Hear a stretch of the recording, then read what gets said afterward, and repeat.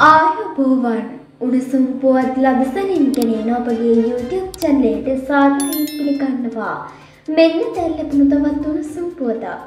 දිවයිනේ බොහෝ ප්‍රදේශවල සාස්කාලයේදී ගෙගුරුම් සහිත වැසි ඇතිවීමට හිතකර වායුගෝලීය තත්ත්වයක් අද සිට ඉදිරි දින කිහිපයේදී බලාපොරොත්තු විය හැකි බව කාලකුණ නීති දෙපාර්තමේන්තුව නිවේදනයක් නිකුත් කරමින් සඳහන් කළා. දිවයිනේ බොහෝ ප්‍රදේශවල සවස් කාලයේදී හෝ රාත්‍රී කාලයේදී වැසි හෝ කිකුරුම සහිත වැසි ඇති විය හැකි බවයි එම නිවේදනයේ සඳහන් වන්නේ. උතුරු සහ නැගෙනහිර පළාත්වල උදෑසන කාලයේදී තනින් තන වැසි හෝ කිකුරුම සහිත වැසි ඇති විය හැකි බව සඳහන් වෙනවා.